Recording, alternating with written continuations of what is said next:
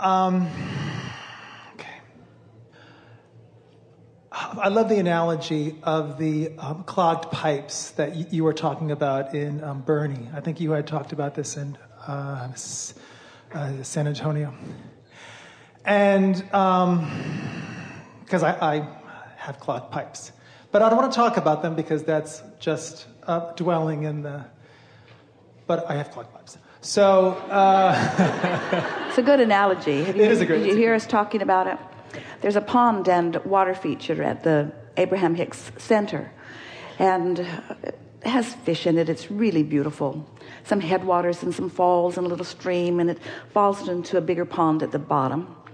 And the water is drawn from the bottom into a pump house where it is filtered and then put back. So the water stays clear and nice for the fish and for the stream.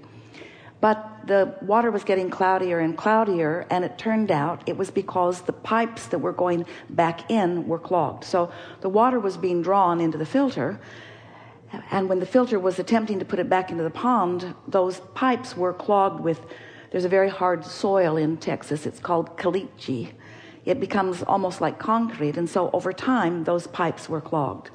And the remedy was to lay some new pipes. At first, they laid them right on top of the ground just to make sure that the theory worked. But once the new pipes were laid, then the water was filtered and put back, and right away the pond cleared up. And the point that we were making with the analogy is that it was so much easier to just lay new pipes than to try to chisel out that hardened, habitual thought, caliche, that had been put there over so much time. There's just an easier way of going about getting to where you want to be than going back and trying to figure out everything that went wrong. Hmm. Esther spent quite a bit of time wanting to know well, why are the pipes clogged?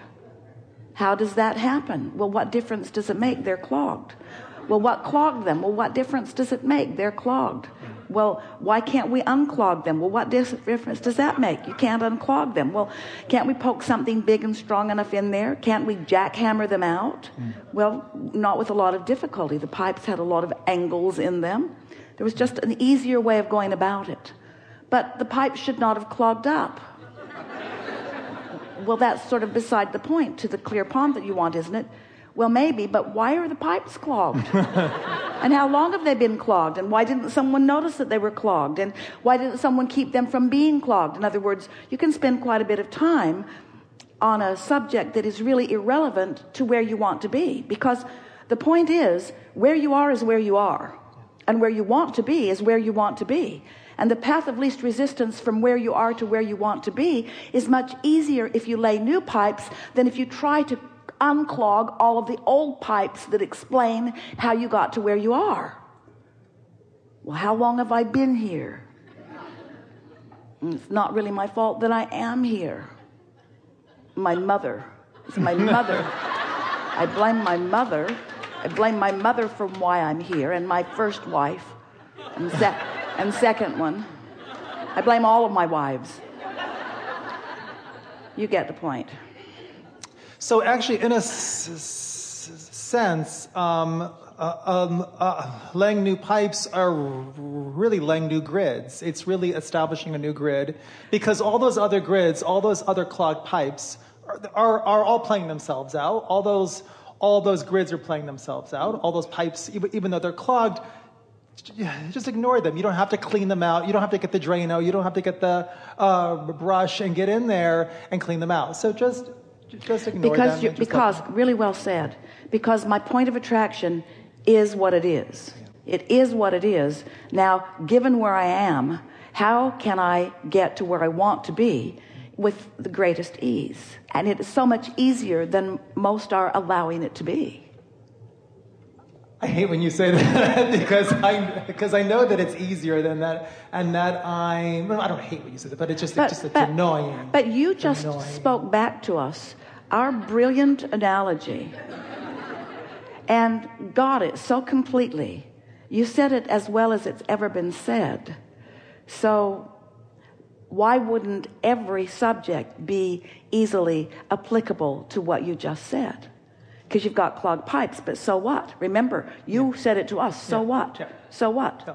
So what does it, so what difference does it make what I believe? If my beliefs are in the way of what I want, then don't I want to establish some different beliefs? Sure. Our friend has unworthy beliefs and they're in the way of what she wants. Yeah. Isn't it prudent for her to establish some different beliefs? Absolutely. And isn't it, now this is the part that you got hung up on. Isn't it an easy thing to do? Shouldn't it be as easy as laying new pipes? I, conceptually. Conceptually, absolutely. All right, now we choose you. Because you're, you're, you're becoming very difficult. No, we're, we're just kidding. Oh, you have you've clogged our pipes. We, uh, we cannot deal with I'm with pretty powerful if I've clogged your pipes. Okay, so. So. We laid new pipes. Okay. I'll do the next. Why am I up here? I'm up here because I want to traffic in those high uh, flying frequencies. I want to traffic in inspiration, yeah, love, you often do. passion, but I don't feel like I do. Well, I then do it like more. I get stuck. Well, in... stop it. Okay. So stop saying it is really what we mean. Well, yeah, yeah. Stop focusing there. But I'm here and I can. We're having a conversation. Yeah, you're here. and your pipes are coaching. Clogged. Yeah. Okay. Yeah. All right. Yeah. Yeah. So, but but but our coaching's getting really boring. That's it. That's all we've got. Eh? I, I guess I just it's like because I've been practicing and I've I've listened to all the CDs, blah blah blah blah blah. You know the whole thing. I'm a very uh, smart rat. I'm a very kind of like I get it, and all right. Well, remember this. Let's say you have three subjects that are active in you often. Yeah. In fact, these three subjects pretty much dominate what you're thinking about. And two of them are problematic. You really want them, however. And one of them, you fly high every time you think about it. Everything about that is easy. What we're saying to you is if you could dominate your thought patterns with the one, the other two would come into alignment. Because the two are clogging pipes, the one is clearing pipes. Yeah, just focus on that. So it is that simple. But why is it not that simple? Because I've got momentum going. So I've got momentum going. So it doesn't feel like I'm thinking my thoughts, Abraham. It feels like my thoughts are thinking me. That's what momentum does. Mm-hmm. So you're inspired to those thoughts because the momentum is there. So the only chance you have is when you wake up going to the one that's easier, going to the one that feels good until it becomes so dominant that it's the one that has the momentum going on it. So even if it's just like I love summer, I love this time of year, I love the warmth. Uh, I love how it feels to wear, you know, sh- shorts and, and yeah. um, tank tops, and it just feels so good to have this sun be bathing over me. And just focus on that. And if, if that's the but, only but thing the thing that's... is, you're really hitting on something important. That's just not meaty enough. In other words, that's just sort of happily boring after a little while. And most of our physical friends, this is a really good ah, ah, ah, ah, ah. So most people, you've heard us say this before if you've been listening to us for a while. We don't say it often, but we really mean it when we say it. Most of our physical friends would rather have negative momentum going than no momentum at all. And the drama because, because the, the yeah. momentum feels like stuff happening. Yeah. The momentum yeah. brings inspiration. The momentum gets you going. Gets you the going. momentum gives you plenty other people because there's a lot of people that'll jump on those discs. You get on that high flying, isn't the weather beautiful disc, and Joan Rivers is going. people don't want to talk about that stuff, but you get on some political CNN, problem or something that's meatier because you want to feel productive. But until you've given high flying momentum a chance, you don't know what productive is.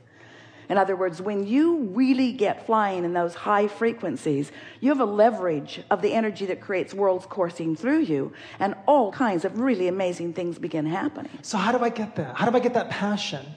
By picking something that interests you and focusing upon it frequently enough that momentum gets going and by not sabotaging the momentum of it with contradictory thoughts